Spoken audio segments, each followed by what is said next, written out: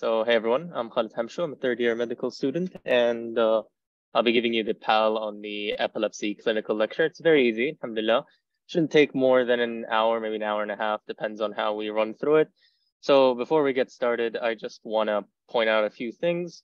Um, I'll be going over some slides I made, about like 20, 25 slides that really cover the entire lecture in a very simplified form because the lecture isn't that complicated and uh, it really doesn't need that many slides. So I condensed all the information that is necessary into these slides. And after that, I'll run through the actual lecture to cover any points I might have missed on these slides because I didn't include everything. So yeah, that's about all. So um, before we start, do you guys hear me clearly so we don't have any troubles? Any concerns before we start? Yes, everything is good. Thank you. All right, awesome. So uh, let me keep the chat open here as well so I can see it on the side. I don't know if you guys can see the chat, but whatever. All right. Oh, I'll keep an eye on it. All right, let's get started. So first, I want to start off with some simple definitions over here. Um, obviously, this lecture is a bit informal, so um, I'll clarify anything that looks uh, interesting on the slide. So Epilepsy is defined as two or more unprovoked seizures within 24 hours. This is epilepsy. Now, what exactly is an unprovoked seizure though? It's a seizure that just happens, no reason, no cause, it just occurs. And uh, what do we call it? That would be, in, in that case, if it happens without a cause, for example, say uh, stroke or say uh, lack of sleep or anything like that, then we would call it an unprovoked seizure it's like you sort of have an idea of why the seizure is happening, but we don't exactly know why. So that's an unprovoked seizure. Now, a seizure, obviously, as you know, is neurons go crazy with electricity. They become synchronized together. And when they fire at the same time, they cause a seizure. Now, depending on where the seizure is, it can have different manifestations. We'll cover that in just a bit.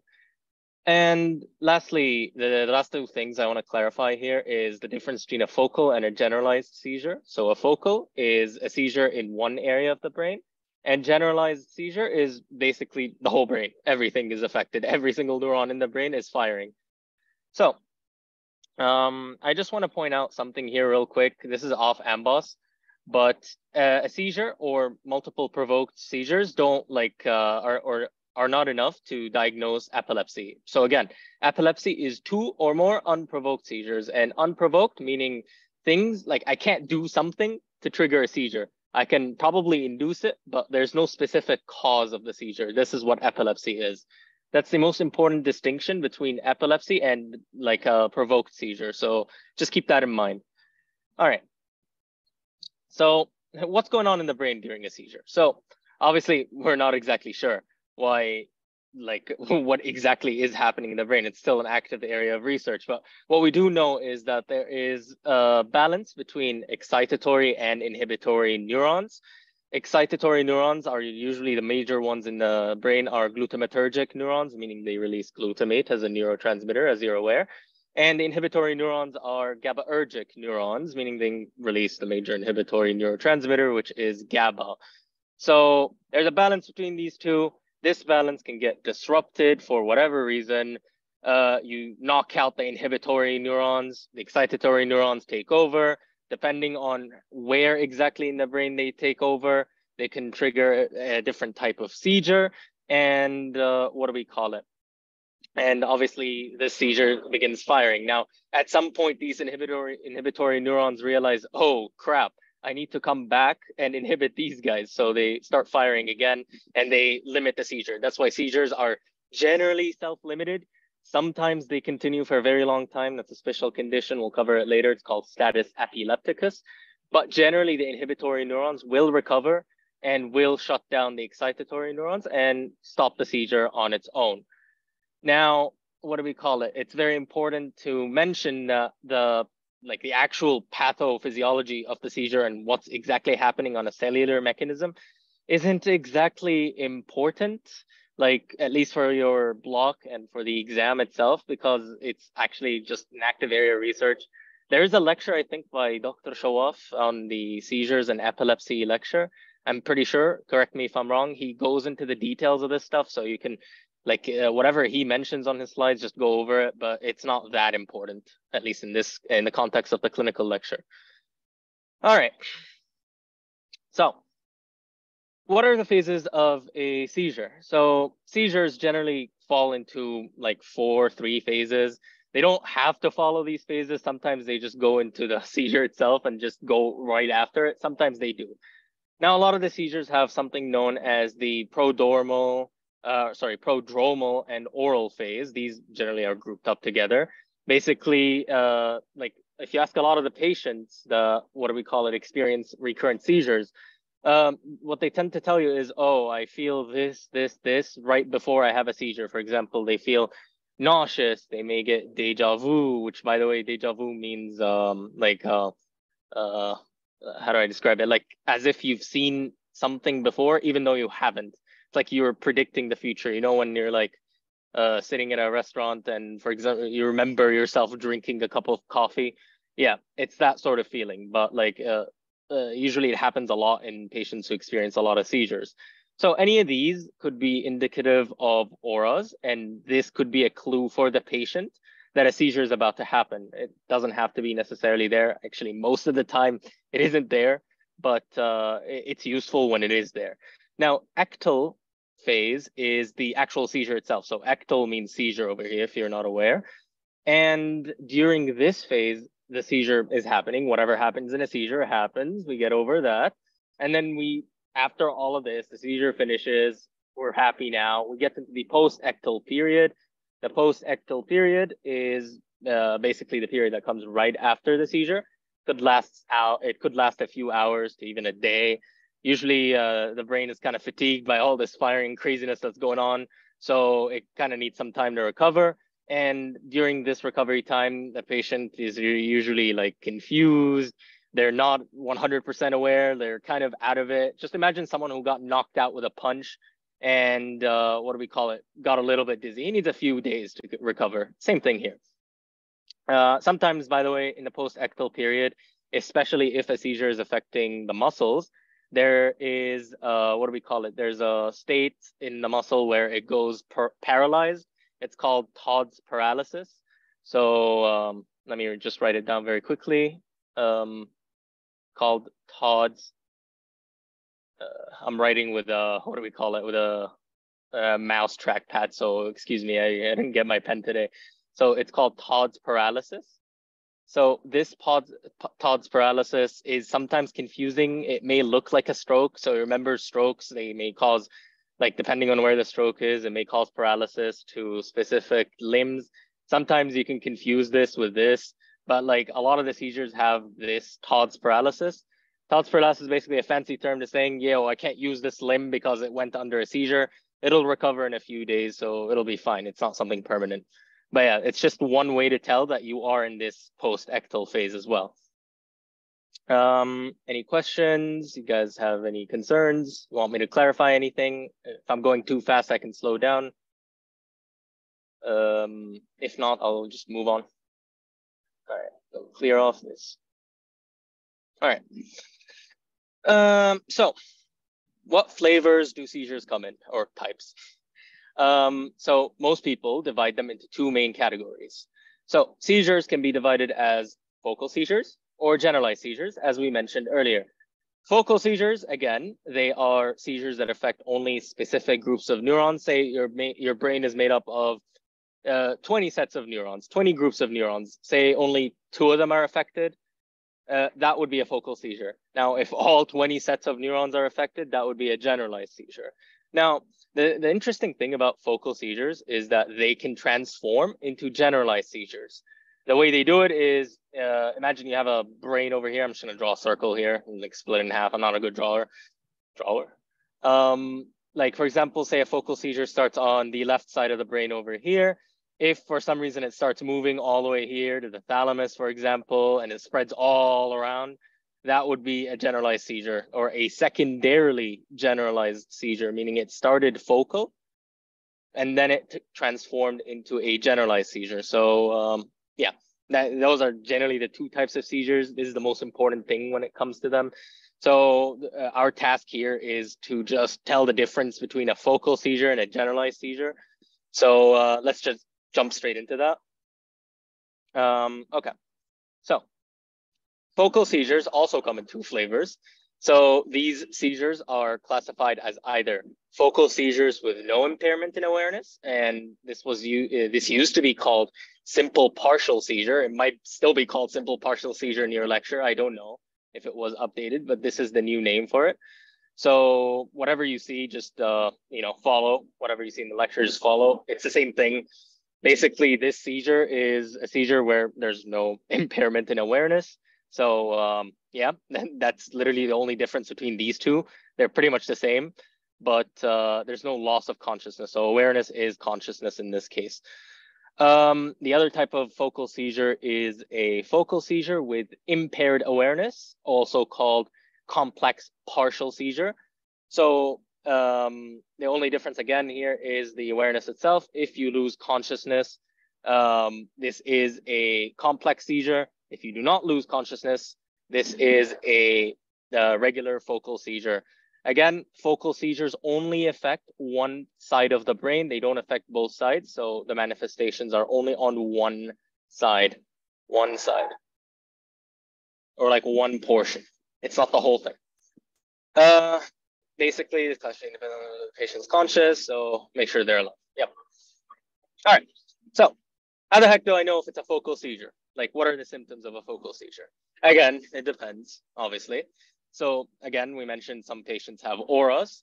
Um, this is especially true if the seizure is a complex seizure or a seizure with loss of consciousness. Um, they tend to have auras, but it doesn't have to be there again. Again, auras are the things that you see right before, or sorry, the patient experiences right before a seizure happens. Now, suppose a seizure happens in the area that affects the right big toe. So what would happen there? So the seizure would just trigger uh, sorry, the seizure would affect the neurons affecting this portion of the brain. And the right big toe would start, you know, twitching.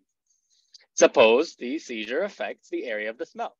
So that could be, uh, what do we call it? That could manifest as things that, what do we call it? You smell. Like it doesn't have to be there, but you're smelling something. For example, these crayons over here, I'm sure you can smell them right now. But uh, if, uh, what do we call it? If the seizure affects the olfactory region, meaning the smell region of the brain, then it would manifest with smell manifestations. If it affects emotions, um, it could manifest in an emotional way. For example, fear or laughter or deja vu or like any emotion you can think of, literally. So again, focal seizures don't have a specific presentation. You can't like say to yourself, okay, if I see a patient like this, aha, this is the focal seizure that I'm looking for. Uh, not really, because focal seizures just are completely different from each other. They're not the same. Uh, it it sucks, but this is how it is. For example, uh, what do we call it? Uh, other like manifestations of this could be like automatism, which is like smacking the lips like this, or moving the tongue out, or like uh, what do we call it? There's a there's a whole lot of presentation. Uh, okay, so what do you mean by, by deja vu? So deja vu is basically the, what do we call it? The sensation of, uh, I don't know how to describe it to you, but one second, let me think of a good way to describe it. So it's the sensation of, uh, it's like the way, or it's like the feeling of seeing something like it's it's as if you've seen something in the future. So for example, in a dream, you might have dreamt of drinking a cup of water in Cane's, for example, the restaurant. And maybe 20 days later, you find yourself drinking a cup of coffee in Cane's. That, is, and then you're like, oh, wait, I've seen this before. So that's deja vu. It's the sensation of thinking that you've seen something before, even though you haven't. By the way, you have not seen the future in that case. It's your brain playing a trick on you, thinking that you've seen this before, but you haven't. All right, perfect. Um, any other questions before we move on? Uh, by the way, we are speeding through this lecture. No? Okay. Again, any confusion, anything that you're not getting, you can just ask me right away. The whole point of this is for you guys to ask questions. If not, then uh, I'll just move on.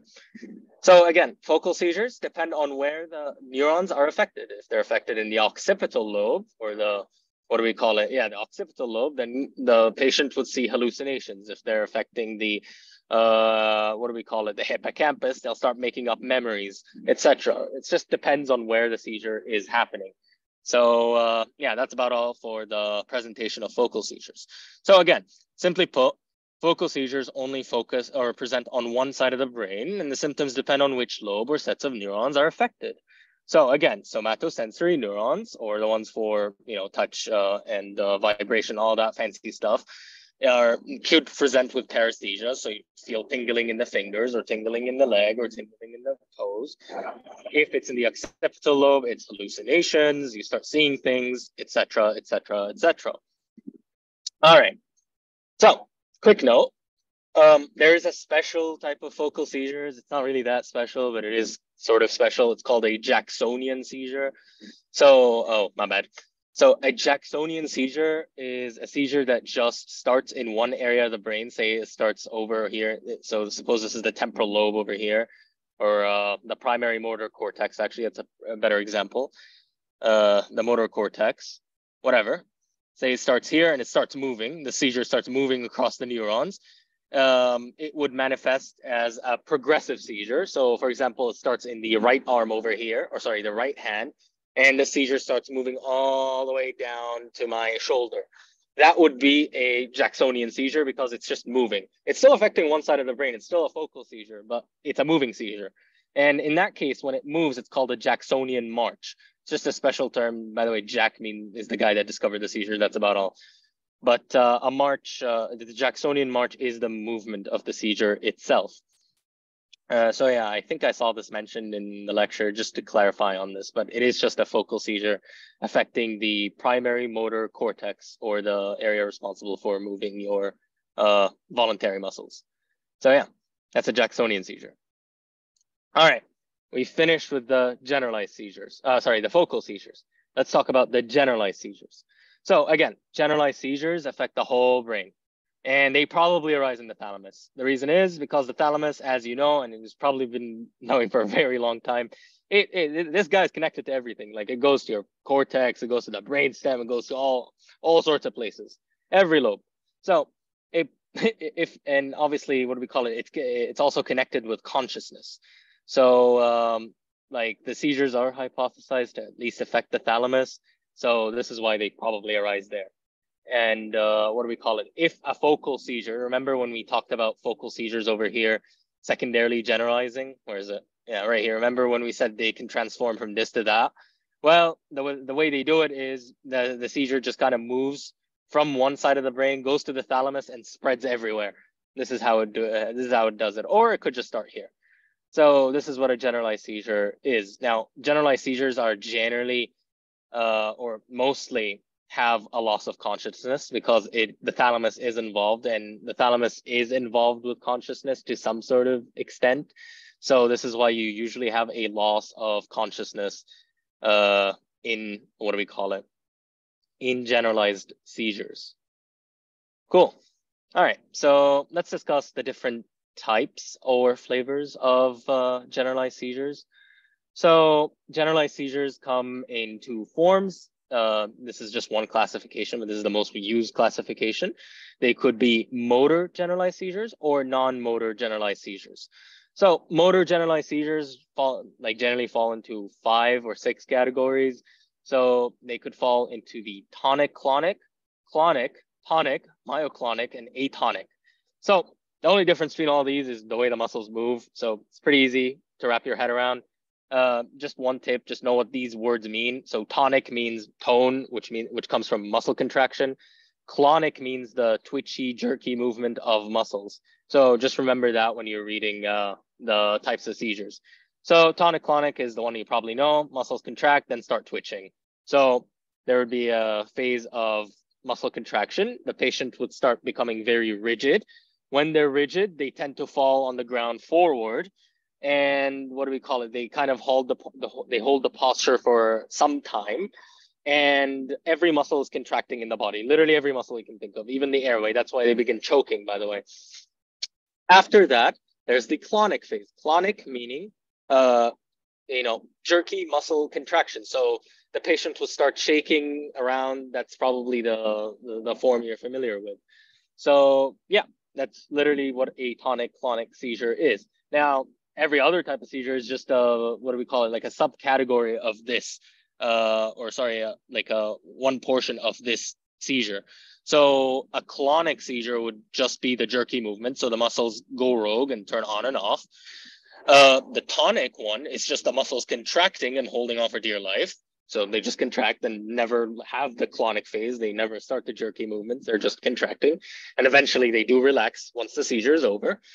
Uh, the myoclonic seizure is the one that is basically very similar to the clonic seizure, except the muscle contractions are slightly faster. So they twitch a lot more. And usually this happens in the morning with children. This, this is mostly with children. So if you see a child that wakes up with, uh, what do we call it? With involuntary muscle contractions, it's usually a myoclonic seizure. It's called juvenile myoclonic epilepsy if it's recurrent. So um, yeah, this is just a side fact. I don't think it's part of the lecture, but yeah. And an atonic seizure, uh, A meaning without, tonic means tone. So muscles just lose their will to live, they relax, and the patient drops. Usually the drop is backwards. Uh, you can tell the difference between atonic and the tonic version. Tonic uh, muscle contractions causes the patient to fall forward. Atonic, usually the patient drops backwards. Obviously, it's dangerous because this predisposes to trauma. They can hit their head on concrete, and that's not good for you. So yeah, just remember that. Uh, let me clear the slide off ink. Cool. All right, so uh, what do we call it? Finally, we have the non-motor generalized seizures. It's basically the same, but there's no movement of muscles. Uh, there's only one type that's really relevant. It's called the absence seizure. So absence or absent seizure is when the, it's usually in children. What happens is the child zones out. So for example, I could be giving a lecture and uh, a child, or sorry, a child could be listening to a class or a teacher. They for some reason start zoning out like this. They start blinking and they lose consciousness for a few seconds to even minutes and then they come back. And uh, what do we call it? This is generally what an absence seizure is one note one thing to note in absence seizures there is no remember that post ictal period we talked about right here right there the confusion yeah in absence seizures this does not exist there's no confusion right after the seizure, meaning the child will jump straight back into it. They won't be dizzy, they won't be confused. They'll just continue from there on uh, onwards without any of the, you know, the lethargy that comes right after the seizure. So this is a very, very, very, very important thing about absence seizures. There is no post-ictal confusion. This is just one thing to remember. If there's one thing to remember about the seizure, it's this thing. And uh, yeah, what do we call it? Uh, by the way, guys, I am simplifying a lot of this, but I'll go over the slide, the lecture slides after this. This is sort of like a, a introduction, I guess, to the lecture. But uh, yeah, it shouldn't take too long. All right, so just differentiate. So the, the main point of this, like the main point of the generalized seizures, the, the what you got to do is differentiate between them. So you don't need to know the exact symptoms because their symptoms are generally related to the muscle contractions. Just know the difference between them when they are described in a clinical scenario, and it's literally all you need. So yeah. All right, just a small quick break. Uh, if you feel like answering, go ahead. If you have any questions, please let me know. And uh, yeah, I'll continue outwards with the like the causes and the uh, what do we call it and what to do when a patient presents with a seizure.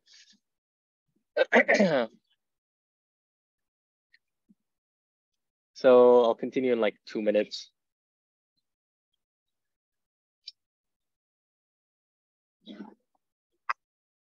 Any questions, guys? Any concerns?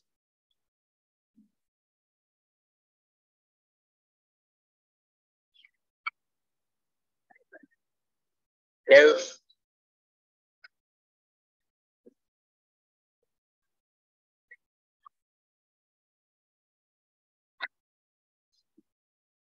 Let's see. All good? All right. I guess I'll continue from there then. Since uh, we're going along pretty quickly, so uh, I don't think we should waste too much time. It shouldn't take too long, hopefully. All right, so let's see. Second, let me just remove this. See on the screen. All right, perfect. All right, so what causes seizures? So, like, uh, I recommend knowing this acronym called vitamins. Uh, by the way, I stole this off Osmosis, so um, very good video. You can watch it about seizures. But generally, the causes of seizures fall into one of these categories. So V stands for vascular causes. Vascular meaning literally anything related to a blood vessel. So it could be a stroke, could be an AV malformation, which by the way means arteriovenous malformation. This is sort of congenital. The arteries and veins kind of look weird, and that can cause issues with blood supply, and that can trigger a stroke. Um, oh, sorry, can trigger like a ischemia and yeah, stroke. Strokes themselves, whatever type of stroke, hemorrhagic, uh, ischemic, any any of the types of stroke can trigger a seizure, and this is one cause of a seizure. Remember, these causes, um, what do we call it? Trigger seizures, not epilepsy um, if these are identified, then the diagnosis would not be epilepsy, would be the actual underlying cause. So, for example, if they have they had a stroke and they had a seizure secondary to the stroke, their diagnosis isn't seizure. Their diagnosis is a stroke. So, yeah. Uh, I is for infection. This could be meningitis or encephalitis. I'm not sure if you guys took a lecture on these. You probably will if you haven't bacteria eat the brain, brain goes ah, and then uh, what do we call it? You get a seizure out of it. Very simple, very straightforward. Trauma or toxins. So uh, mouse flying flip flop can hit you in the head. You can get shot. Uh, drugs, alcohols, and poison, especially drugs and alcohol, can trigger seizures, especially if it is a withdrawal seizure. Uh, alcohol can trigger uh, seizures just from withdrawal, especially in alcoholics actual drinking of alcohol can also dr- trigger a seizure, but it mostly is associated with withdrawal of these drugs and toxins. So uh, that's very important to point out. Autoimmune causes, so body attacks itself, and that can obviously, if they're attacking uh, neurons, that could trigger a seizure because the neurons are dying. They're releasing their neurotransmitters when they die. That causes other neurons to start firing, and that can trigger a seizure. So one example is lupus, uh, multiple sclerosis as well. Um, you have metabolic causes, metabolic, uh, for example, things uh, like imbalances in electrolyte levels, hyponatremia, which is too little sodium in the blood, hypernatremia, the opposite, hypokalemia, hyperkalemia, remember that action potential stuff? Yeah, that. And obviously, you have other metabolic causes like diabetes. Diabetes can trigger acidosis, and uh, even alkalosis itself can trigger seizures. These imbalances in pH can trigger seizures. You have gen- genetic metabolic disorders. You know that mold stuff you took last year. They can also trigger seizures because of accumulation of different substances in that brain, and um, that can cause the death of neurons and trigger a seizure as well. Idiopathic, meaning we don't know, and we just pin it on epilepsy. Again, when you don't know why a seizure is happening, it's epilepsy. And obviously, you need, again, just to remind you of the definition, it's two unprovoked seizures, unprovoked meaning unknown cause, within a 24 hour period. All right. Uh, and neoplasm is like benign or malignant tumors, or like any of the tumors mentioned in Dr. Ahmed's lecture, they can also trigger a seizure purely by compression of the actual brain tissue or by taking away from its blood supply. So malignant tumors tend to steal blood supply, and that can cause uh, seizure to trigger. And finally, S in vitamin stands for syncope. Syncope isn't a seizure. This S stands for differential diagnoses of seizure, meaning like other things that uh, can, uh, or sorry, other things that cause loss of consciousness that aren't seizures. In this case, syncope. Syncope is not a seizure. And uh, what do we call it? The most important thing is to differentiate these causes from the actual seizure itself. So we'll discuss that right now. But actually, I'd like to. We'll discuss uh, the most common causes of epilepsy by age first, and then I'll discuss the, the differences between these seizures. So uh, between seizures and uh, other causes, other forms of loss of consciousness. So let's talk about the most common causes of epilepsy by age. And this is very, very straightforward. Um, in children, generally, if they have a seizure or they experience epilepsy, the cause is usually genetic, meaning that they have a genetic problem going on, Down syndrome, uh, Patau syndrome, any of the, you know, that genetic stuff you learned about uh, at some point and you will continue learning about. That can cause seizure and probably the most common cause of seizure in children. Fevers can trigger seizures. They're not epilepsy, they're called febrile seizures. Um, uh, these are a known cause of seizure. They can be resolved once the infection is resolved.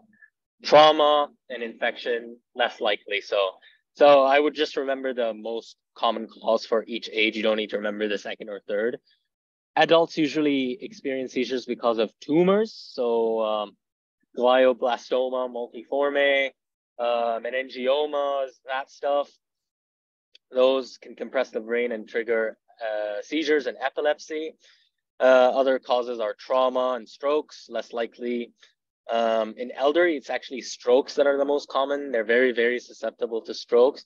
When there is a seizure, the in elder in an elderly patient, generally the first thing we do is do a CT MRI to check for strokes. I think a clinical lecture was given on strokes yesterday. So uh, yeah, sorry, a PAL lecture. Uh, so yeah, I can refer to that. All right, so what exactly looks like a seizure but isn't a seizure and how the hell do we differentiate it? So uh, there are multiple things that look like seizures but aren't exactly seizures. These are things like syncope, psychogenic seizures, TIAs, vertigo, migraines with auras. These may look like seizures, sometimes very, very close to seizures. And that's why it's very important to differentiate it. I'll go over it right here. It's down here. So syncope is like a form of cardiovascular manifestation. Basically, uh, it's passing out. Um, generally, it is categorized by sweating before syncope and lightheadedness. They may also have tonic and clonic movements, which make them very, very confusing with seizures. The way you differentiate it from a seizure is after a patient wakes up from syncope, or if they do pass out, they don't have post-ictal confusion, meaning that they jump straight back into it. Like they fall on the ground, they do their tonic clonic thing, but they're not confused right after. So this is how you tell a syncope from a seizure, usually but you still need to examine. You need imaging, you need history, all that. You still need all of that, but this is one way that can guide you towards syncope rather than seizure. Psychogenic seizures are psychiatric seizures. Basically, a patient pretends to have a seizure. They're not actually pretending. It's like it's sort of a psychiatric condition. They're having a seizure, but they're not actually having a seizure. Usually, the way you can tell them is through EEG when they have the episode. Uh, EEG will show normal brain activity, not abnormal brain activity. By the way, EEG stands for electroencephalogram, just, uh, just in case you're confused. Transient ischemic attacks or TIAs or stroke wannabes. Basically, they're strokes, but less than 30 minutes, no, no irreversible damage. They can mimic a seizure because they're very short. Uh, the way you tell them apart from strokes is usually the post-ictal confusion. Uh, someone just asked something in chat. Hypoglycemic shock can mimic seizures. Yes, it can. Uh, yes, it can. And that's why it's very important. I forgot to add it on the slide. Thank you for mentioning that is actually a very, very common cause of uh, passing out that can look like uh, seizures. So yeah, hypoglycemic attacks. Um, so next is vertigo. Vertigo is dizziness and uh, it lasts minutes to days. It could last for minutes to days. Most important thing to tell a vertigo from a seizure, especially if the vertigo is very severe and can cause you to pass out, is positional symptoms. Usually patients with vertigo, at least peripheral uh, vertigo, um, have positional symptoms, meaning if they're leaning one way or another, they get symptoms, but if they fix it the other way around, they don't get symptoms. This is how you tell it apart. And finally, migraines with auras may have like visual hallucinations and disturbances, and that can look like a visual uh, seizure. And again, the way you tell this apart from the other sorts of seizures, uh, or the way you tell a migraine from a seizure, again, is the post-ictal confusion and uh, other signs of seizures and that I'll discuss when I'm going through Dr. Al-Qawi's slides. So um, just important. This is less likely to be, by the way. This is the least likely. So the most likely would be like syncope, TIA, hypoglycemic attacks, vertigo, um, and psychogenic seizures, and less likely are migraines. So again, super important. Post-ictal confusion and tongue biting because the muscles in the jaw are contracting in a seizure, usually in generalized seizures, are absent if uh, the if a patient is experiencing one of these things. Usually, it is absent. It can be there sometimes, and this can make life confusing. But usually, they are absent. So this is the way you tell. Uh, and for all practice, for all practical purposes, just remember the post-ictal confusion and maybe the tongue biting less important as the distinguishing feature between these and a seizure itself. Cool. Um, okay. So what the heck do I do if a seizure happens in front of me? Um, there are steps to follow.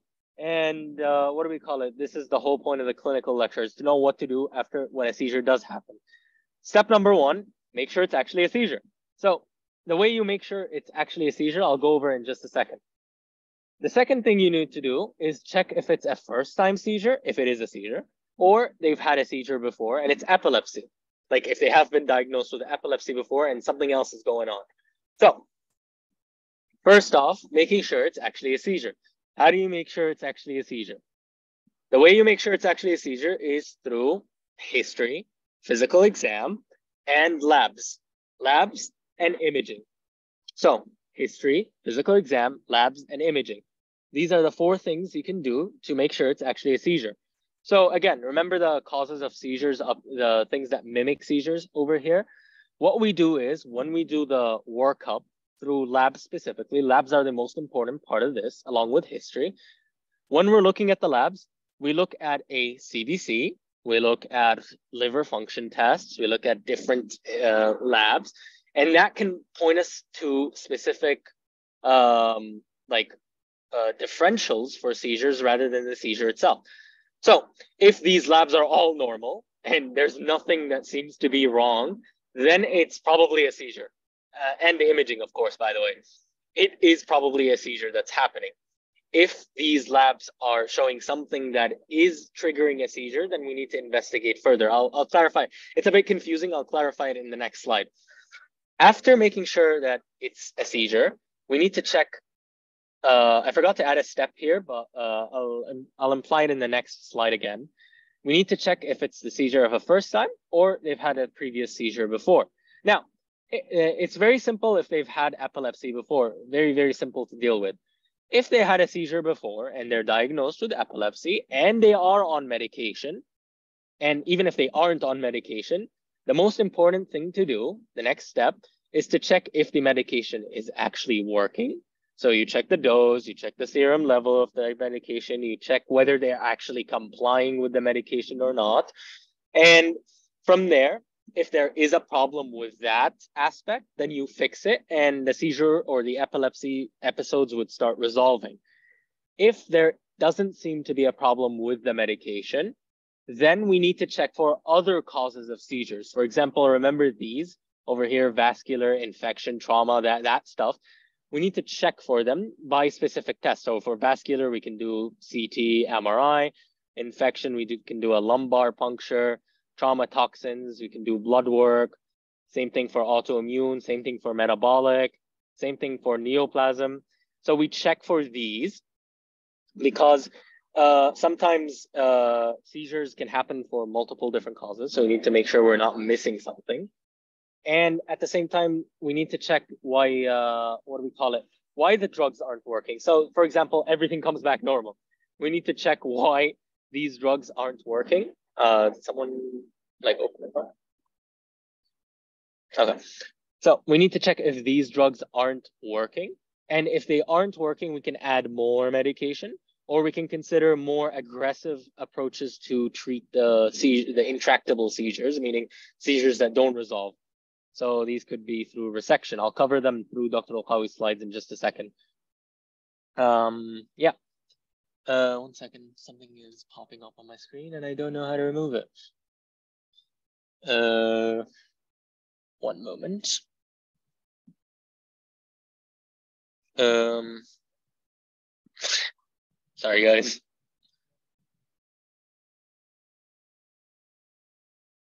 Uh, okay. All right. Uh, okay. So um, that's generally the steps if they are medicated and they do have epilepsy. Now, suppose this is a first time seizure. What, what, what do we do? Well, again, we need to make sure if it is a seizure first. That's the first step. So you do it through a workup. You do CBC, LFTs, which are liver function tests. You do serum glucose for the hypoglycemia. You do a bunch of different things. You check the history, you check the physical. After making sure it is a seizure, the next thing is to find a cause for the seizure. So we're trying to find a cause because the diagnosis of epilepsy is a diagnosis of exclusion, meaning that if there is no cause, then we diagnose it with epilepsy. So we need to like test everything until we can't find anything. So if you suspect a stroke that triggered the seizure, you do CT MRI. If you suspect infection, you can do a lumbar puncture to rule out encephalitis, meningitis. Obviously, history would point you this way. For example, someone who traveled to a new country or someone who went to Hajj. These could point towards infection. If they have syncope, then you can do a 12 lead ECG to check for cardiac problems, etc., etc. Whatever you suspect from these causes up here, you can do the test that corresponds to this. So for example, you get an exam question over here uh, about someone who has had palpitations, someone who's had heart problems. Uh, the next best step after like suspecting a seizure or syncope is to do a 12 lead ECG in this case. It would be one of the options there. So just keep that in mind when you are going through uh, some of the questions in the exam. The next step is if you don't find a cause for the seizure, is to do an EEG. So you make sure, uh, usually EEG is last resort when it comes to these things. It's the last sort of imaging modality you use. And EEG is usually used to identify whether or not the seizure is focal or generalized. But, you know, between you and me, EEG is kind of useless for the most part. It cannot detect a lot of the seizures. But when it does show up on EEG, it's pretty useful, but it really doesn't show up most of the time. So uh, yeah, but we still do it anyways. So we identify whether a seizure is focal or generalized. After we do that, if and even if we don't identify whether a seizure is focal or generalized, then it can fall into two categories. If the cause is identified, you treat the underlying cause. If they had a stroke, you treat the stroke. If they had syncope, you, you treat whatever heart problem they have. If they have diabetes, you control the diabetes. If they have this, they you treat that. Basically, this is how you treat the seizure by treating the underlying cause. If there is no cause identified, then you can diagnose them or you could consider diagnosing them with epilepsy if the seizure is recurrent. If it keeps happening, you diagnose them with epilepsy and then you start anti-epileptic medications because these guys are always experiencing seizures and you need to control them. They're you know it kind of affects their life. So if you don't control the seizures you know it, can lead to depression it can be, pretty nasty things. So you start them on anti-epileptic medications. Very very very important here anti-epileptic medications are not given for people who only experience one seizure if they've only had one seizure for whatever cause it is you don't give them anti-epileptic medication there's no point Anti-epileptic medication is reserved only for epilepsy or for special uh, special indications, which I'll discuss in just a moment. Again, anti-epileptic medications are only given for epilepsy, not for one-time seizures. All right, so how do you treat epilepsy? So there are a bunch of anti-epileptic drugs and you can also treat it through lifestyle modifications. These drugs, there are some that are first line, some that are second line, some that are third line. Just follow the lecture on that one. Dr. Al-Qawi mentions them there. So whatever he lists as first line is first line. Like in the US, they have different first line medications. Whatever it is, follow it through the lecture. So the general principle is you start with one drug, then you increase its dose. And if that's not working, then you add another drug. And if that's not working, then you can do more aggressive approaches like uh, checking for underlying cause for the seizures. You might have missed it. And then you can do surgical resection. You can remove parts of the brain that are like experiencing the seizure. You can just cut them out if they're not vital. And that can, you know, symptomatically treat the seizure. They would be relieved off of it. There's a technique called brain stimulation. I'll cover in a bit uh, you can do that as well to treat the uh, the symptoms of epilepsy. All right, so uh, some of the last things I want to cover in this is there are some random treatments that you probably need to know about. Absence seizures are treated with a drug called ethosuximide. Very important to know. Probably covered in the pharma lecture, but reinstating it here, this is very, very, very important. This is like literally the only, uh, what do we call it? One of the only like seizure conditions that is treated with a specific medications. Uh, this is sort of out of scope of the lecture, but you know, I've seen it once, but eclampsia is like a condition pregnant women experience. They have uh, seizures with like a bunch of uh, like uh, blood uh, blood circulation issues. You treat the seizures with something known as magnesium sulfate. You don't need to know the details, but it's just um, just keep it in mind. Uh, not very important, but eclampsia is treated with magnesium sulfate. It's kind of specific. So yeah. All right. Lastly, um, what do we call it? What do we do if a seizure starts but doesn't stop? That's called status epilepticus. In the lecture, Dr. Al-Qawi defines it as 30 minutes of a seizure without regaining consciousness. And obviously newer sources say it's five minutes only. Uh, but in the lecture, it is 30 minutes. So please stick to the lecture. In this case, like if you do follow external resources, they will say five minutes. But in the lecture, it is 30 minutes and stick to the lecture in this case.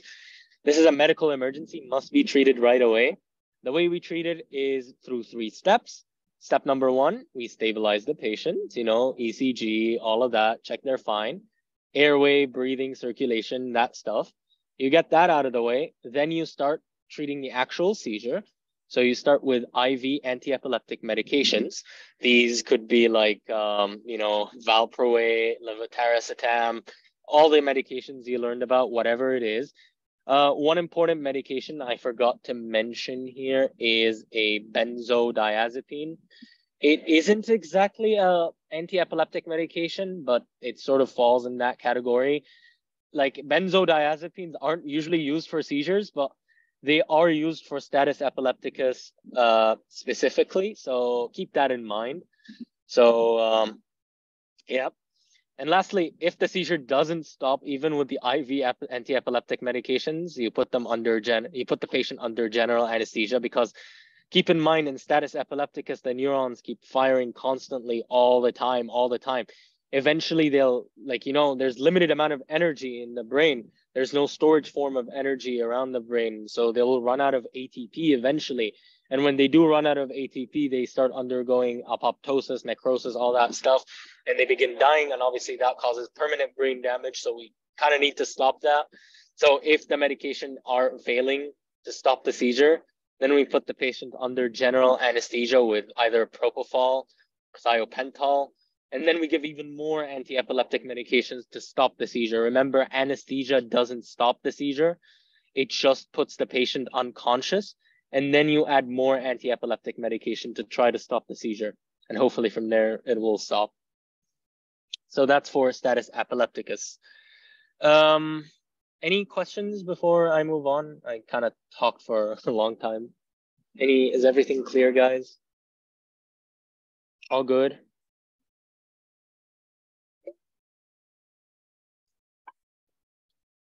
Any confusion? All right, perfect.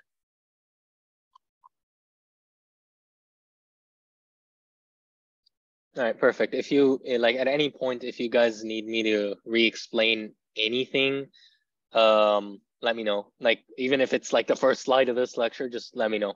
It's fine. All right. So some random facts uh, that I found that are probably important for you is that like I, I didn't find a place to fit these in, but focal seizures usually happen most commonly in the temporal lobe so epilepsy of the temporal lobe is the most likely site for a focal seizure. And this, like if it is epilepsy, there is no underlying cause, then the condition that probably is causing this, uh, or sorry, causing these seizures is mesial temporal sclerosis. It's covered in the lecture. I'll go over it in a bit.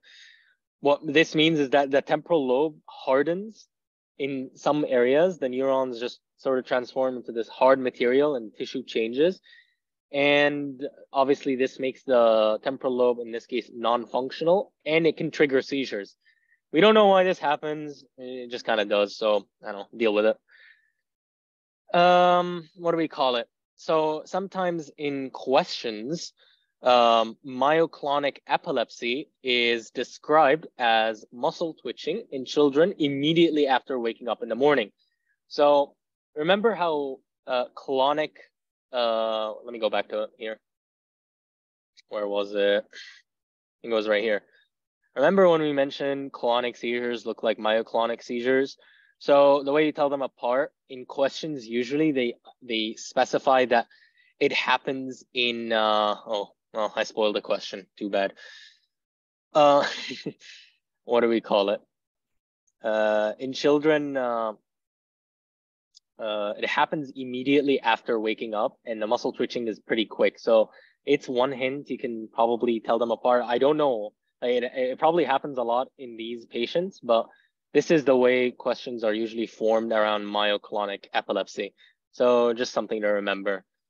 All right, so that concludes the condensed form of this, uh, you know, of this lecture. I put what is most important into this. Um, I'll quickly run through Al-Qawi's slide. I mostly covered everything he mentioned. There are some specific specific points I want to point out. I didn't think they were as important, but I'll still go through them. But before that, I'll just put some questions for you guys to answer. Uh, I'll explain them very quickly, so please go ahead and take your time reading them. And, uh, you know, uh, you can answer them in the chat. You don't have to answer them in the chat if you feel embarrassed. Um, uh, I'll just answer the question in like two minutes.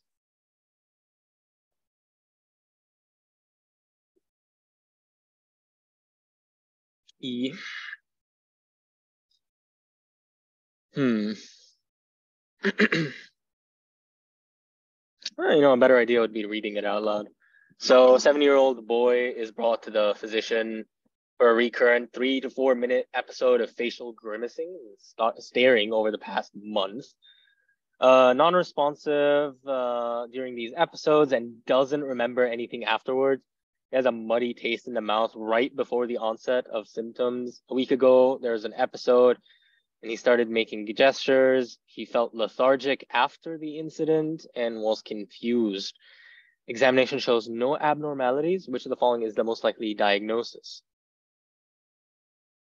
All right. So, um, some of you guys mentioned A, some of you guys mentioned E. So the answer in this case um, is, um, one second, it's A. So why is it not E and why is it A here? So uh, one of you asked me, why is it not A? It is A. Um, what do we call it? The reason it's A and not E in this case. All right, so the reason it's A and not E in this case is, remember when I said to you absence seizures are the seizures that have no post-ictal confusion right after? This patient felt lethargic and confused right after the seizure itself. Um, what do we call it? When the patient is lethargic and confused right after the seizure, this immediately excludes uh, seizures. It no longer is the most likely cause because absence seizures do not have post-ictal confusion right after.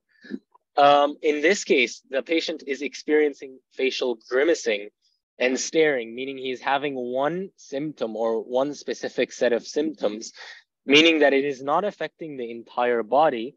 So it is not a generalized seizure. It's not affecting like your face, the muscles, the legs, all that. It's not like a tonic-clonic seizure. It's just one portion, which is the face. And that's why we can immediately think it is a focal seizure. And because it is a focal seizure, now the only thing left to do is whether it is a simple seizure or a complex seizure or loss of consciousness or without loss of consciousness. So because there is a loss of consciousness in this case, um, what do we call it? Where is it here? He's not responsive. He doesn't remember these episodes afterwards, meaning he did lose consciousness during these episodes. So this is why it is impaired awareness in this case. All right. Next question. Any confusion about this question actually before like we uh, move on to the next question, last question. If you want me to explain any further. Clear? Cool. All right. All right, next question. So, a nine-year-old boy is brought to the physician by his mother to establish care after moving to a new city. He lives at home with his mother and older brother. He was having trouble in school. He was started on ethosuximide by a previous physician. He's now performing well in school. This patient is undergoing treatment for a condition that most likely presents with which of the following symptoms? So A, regression of verbal skills and stereotyped hand wringing, limited attention span and poor impulse control, overwhelming daytime sleepiness and hypo and hypnagogic hallucinations, episodic jerky movements of the arm with impaired consciousness, frequent episodes of blank staring and eye fluttering, or recurrent motor tics and involuntary obscene speech.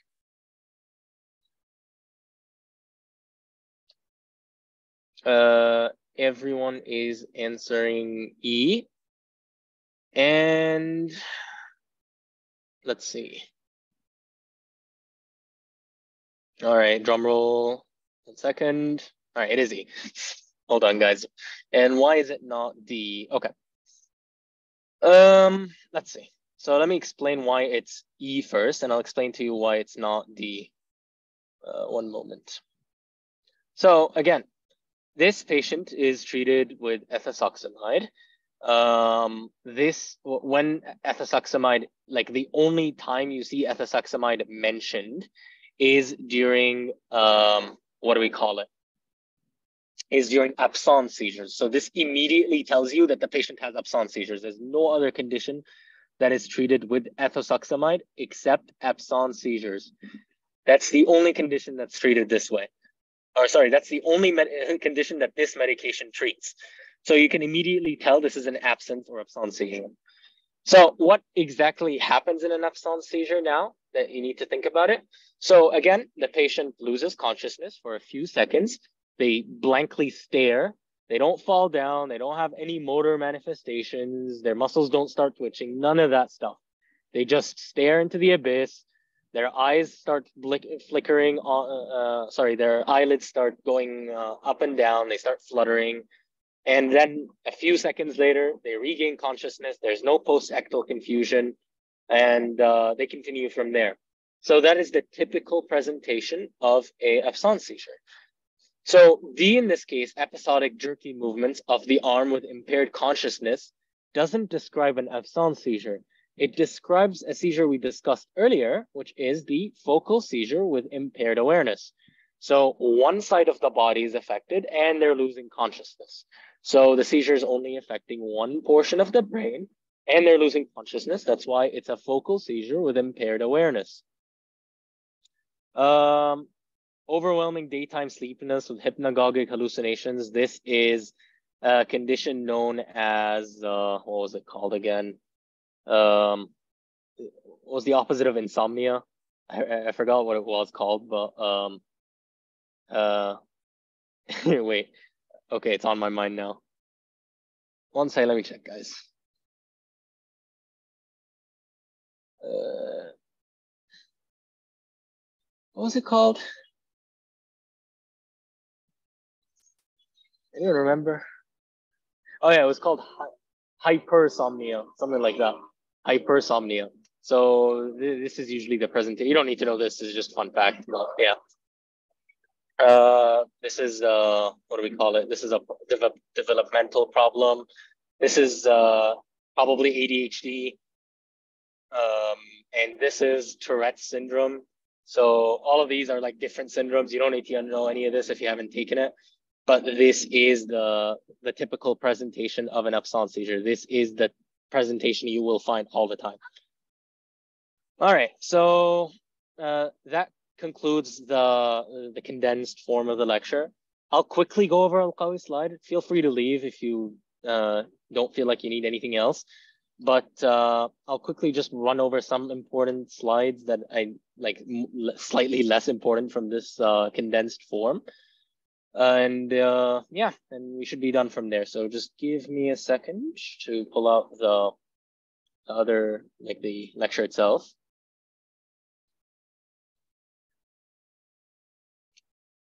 You're welcome. All right, so I'll quickly just run through the slides. Shouldn't take more than 10 minutes, hopefully. So let me pause, let me resume here. All right, so let's quickly get over this and uh, we'll, we'll wrap up from there. So th this is stuff we already covered. This is the neuroscience, all of that. You don't need to know this stuff for his lecture. Like this is just explaining the normal physiology of things. Uh, it's just telling you that epilepsy is not contagious, not a mental illness, not a cognitive disability, yada, yada, yada, not very important. It may occur with different conditions like cerebral palsy, autism, ADD, ADD all of that. But usually it doesn't. Uh, there are causes of provoked seizures, as we mentioned, hypoglycemia, alcohol withdrawal, fever, medications, drug toxicity. All of these are known causes of seizures and they don't lead to a diagnosis of epilepsy. Basically, if you treat these things, you don't have uh, you won't have seizures anymore, and that's why it's not epilepsy in this case. Prevalence, incidence, this is fun facts. You don't need to know this stuff. You don't need to know this stuff. This is the classifications between these two types of seizures. We already discussed this. We already discussed this. Focal seizures, generalized seizures, all of this stuff. Lovely stuff. So causes of symptomatic epilepsy. So again, these are the causes we, we discussed. Remember the vitamins we talked about. So these are here. So parts of the seizure. So if the seizure affects the leg, you have leg manifestations. These are for focal seizures, affects the body, body manifestations, reading, you know, reading manifestations, sight, hallucinations, hearing, you start hearing things, etc., etc. So again, focal seizures are divided to seizures that have uh, loss of consciousness and no loss of consciousness. So all of this stuff we've already covered. Again, we've already covered this stuff, cerebrovascular, CNS, toxic, trauma, metabolic, all of this stuff. And uh, okay, so mesial temporal sclerosis, you diagnose it by MRI, very important. It's basically a structural problem with the brain. Again, it is the most likely cause of focal seizures that are in the temporal lobe. Remember that.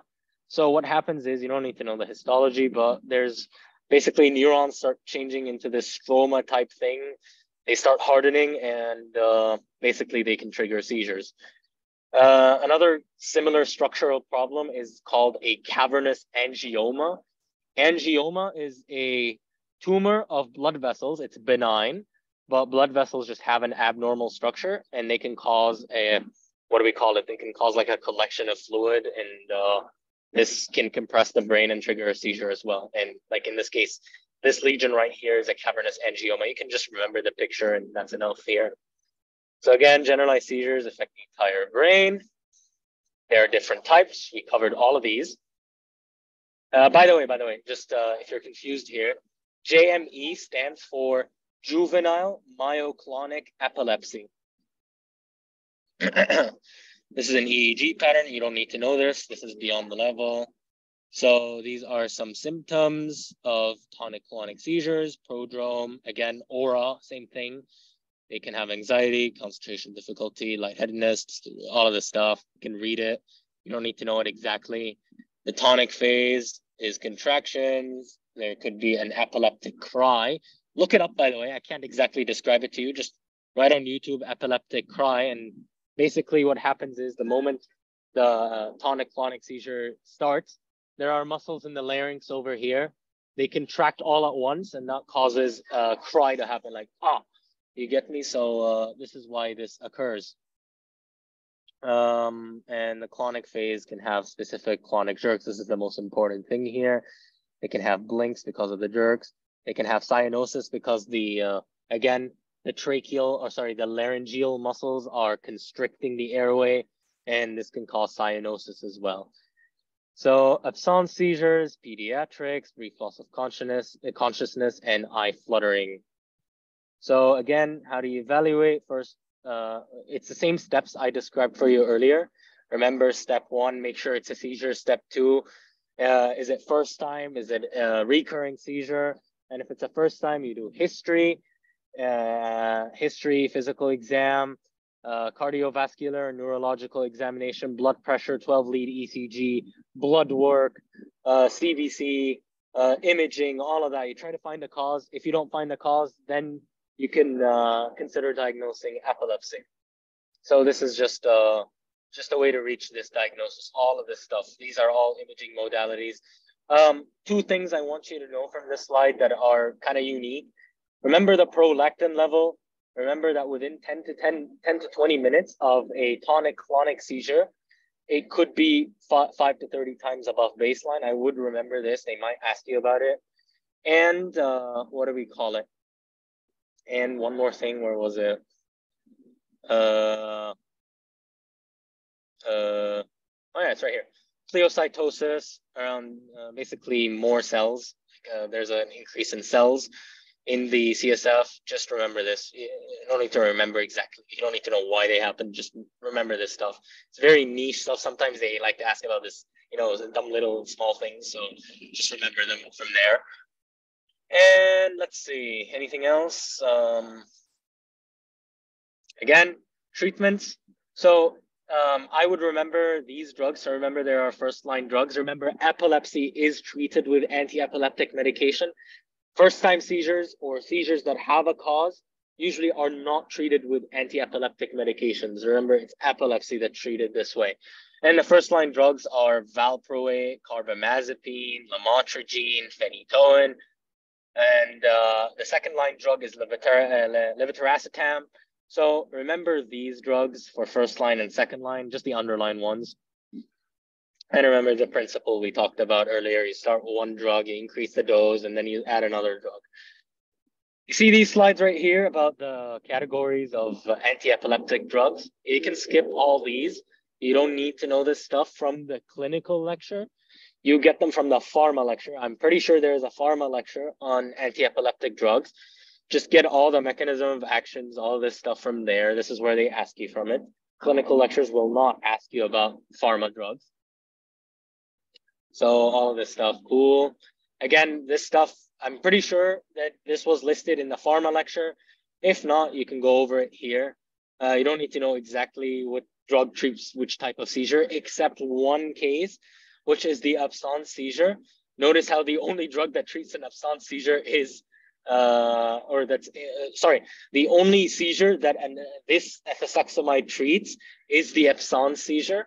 You could treat absence seizures with valproate or lamotrigine, but uh, these have like specific underlying indications. You do not need to know them if they're not mentioned in the pharma lecture. Uh, interestingly, ketogenic diets, I forgot to mention this, but ketogenic diets can help with epilepsy. Um, you can remember this uh, this stuff. Sometimes they like to ask about the ratio, so just remember this stuff. Uh, this is like fancy stuff. Uh, remember when they're started. Uh, basically, all this does is that it helps control seizures. For there's evidence behind them stopping seizures, the ketogenic diet. So just remember that and uh, obviously the uh, epilepsy sucks it affects quality of the life uh, quality of life a lot of people with, uh, with epilepsy have depression so it's very important to treat epilepsy whether symptomatically or like curatively whether it's this or that very important so we cannot ignore these seizures and one last thing I forgot to mention in the slides is something known as sudden unexplained death due to epilepsy, uh, SUDEP. Usually this occurs because of generalized tonic-clonic seizures or two, uh, or uh, like, oh, sorry, they're more, you're a, a patient is higher, at a higher risk of sudden unexplained death because of general, if they have generalized tonic-clonic epilepsy, or they're already on two anti-epileptic drugs. Because what, like, when they're on two anti-epileptic drugs, this means that their seizures are so severe that they need more than two anti-epileptic medications to control it, that means that they're more likely to die of seizure. Uh, basically, all this means is that they die, like the, patient dies due to epilepsy, but like there's no under other underlying explanation for death besides the epilepsy itself. Like we can't say, oh, he had a heart disease, that's why he died. no, it's like, oh, he had a seizure before he died, and then he died, and we're not exactly sure why he died, so let's blame it on the seizure. This is all this means. Again, uh, this is for drug resistant epilepsy, failure to achieve sustained seizure freedom despite two trials of uh, anti-epileptic drugs is uh, known as failure of treatment or drug resistant epilepsy. It's also called intractable epilepsy, and it could be due to multiple causes. Uh, the most important is medial mesial temporal sclerosis and uh, cavernous angiomas. Um, there could be problems with uh, the actual disease itself. It could be like different things, like they have different uh, effects on the quality of life. But the most important thing is to remember mesial temporal sclerosis, cavernomas, all that stuff. And uh, what do we call it? There are multiple factors as to why these patients don't have, what do we call it, controlled epilepsy despite medication. Um, sometimes it is because of failure to take medication, but make sure to review, like before we like blame it on medication not working, as I mentioned earlier, we make sure that they're not like having any of this stuff. Make sure that they're actually taking the medication, whether the medication is actually working and achieving like normal serum levels. They're not drinking alcohol, they're not sleep deprived because sleep deprivation can lead to seizures as well. Stress and illnesses, they're not, they don't have meningitis, they don't have encephalitis, they don't have hormonal problems like hyper or hypothyroidism. They don't have hypoglycemia, diabetes, all of that stuff. Make sure this is all not there, and then you can tell uh, whether or not the actual medication is not working. And when it is not working, then we have specific approaches to treat them. Um, we can have something known as focal resection, resection meaning removing specific portions of the brain. You can remove these specific portions and that can curatively treat a seizure, not 100% effective, but it, it, it has like a good good amount of efficacy in patients. Like it's sort of a last resort. It's like, okay, we've tried everything. I'm suffering a lot. I I, I can't stand this anymore, doctor. I, I don't want to do this anymore. So then you can consider these things. So the most important one is focal resection. These are kind of outdated. They're kind of extreme conditions. So a hemispherectomy is taking, you know how the brain is made of two hemispheres? You take one of them out. So this is kind of like sort of aggressive. And uh, last line, last line, last line is callosotomy. So you know the cor corpus callosum, they take it connects the right side of the brain with the left side of the brain. They go ahead and cut it in half to interrupt this communication. This is not curative. This is palliative, meaning it's symptomatically treating the patient because this is again last resort, usually not done. But when it is done, know that the patient has literally tried everything to get to this point. And finally, we have stimulation that can treat intractable epilepsy. These are like, um, again, this is a temporary solution. This is not permanent. It's palliative. Again, this is surgical. When do we do it? Last resort. That's the most important thing. And for brain stimulation, there are specific techniques. The most important one, like that I would recommend knowing is uh, vagus nerve stimulation basically what they do, they put something, um, they put a, an electrode, they stimulate the vagus nerve. The vagus nerve is responsible for parasympathetic activity. It shuts down the brain. That can cause the, uh, the, that can, so there is evidence behind it through controlling epilepsy symptomatically. It's not a permanent solution. Eventually the epilepsy will come back, but it is something to consider transcranial magnetic stimulation. They send magnetic waves to the brain and that can obviously uh, symptomatically treat the patient. Again, these are like pretty complicated stuff. You don't need to know the details of them. Again, deep brain stimulation, all that stuff, very, very complicated. They're not going to ask you about it. They, if they're ever going to ask you about this sort of thing, they're going to ask you about, okay, so give us examples of brain stimulation technique. It could be like an SAQ question or something. Example of brain stimulation techniques that can be used for intractable epilepsy. And then you would list vagus nerve stimulation, transcranial magnetic stimulation, all of that stuff. But again, very, very unlikely that they'll even ask you about this in the first place, but just keep them in the back of your head. Again, uh, you don't need to know the details here. Not very important. Same, not very important. Um, again, not very important, but just remember that these procedures come with a risk, especially brain stimulation right here, deep brain stimulation. Sometimes there's bleeding. You're like sort of sending waves to the brain that can trigger a bleed, can trigger a stroke. It can trigger an infection because sometimes these things are invasive. They take a portion of the skull out, they shove an electrode and they start stimulating. So that can introduce infection. Um, it can cause, if you cut the vagus nerve, uh, this is in vagus nerve stimulation. Uh, you can get cough, hoarseness of the voice, pain, paresthesia. These are all vagus nerve manifestations, vocal cord paralysis, all of that stuff.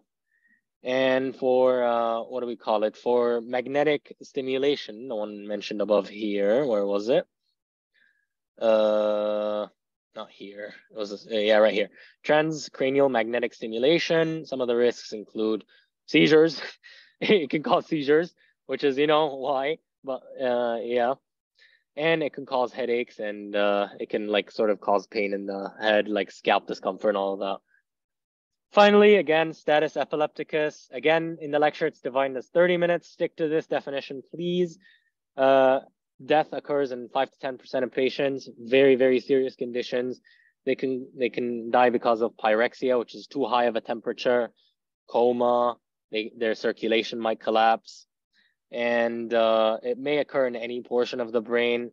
And the treatment is as soon as possible with intravenous anti-epileptic medication if they don't have a response. General anesthesia with propofol, thiopentone, and anti-epileptic medication on top of that. He forgot to mention it here. But uh, yeah, that's about all.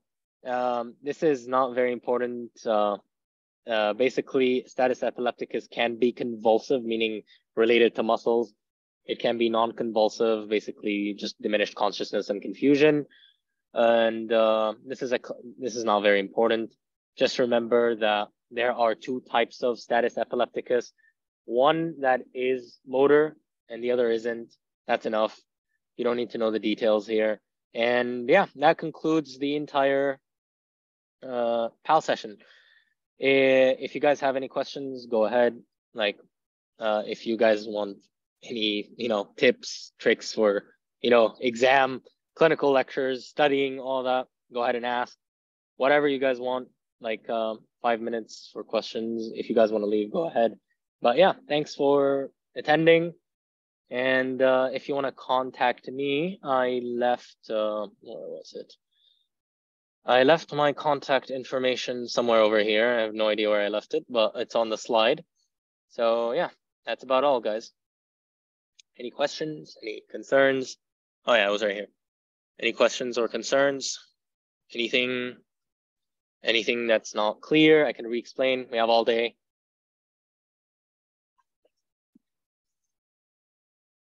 all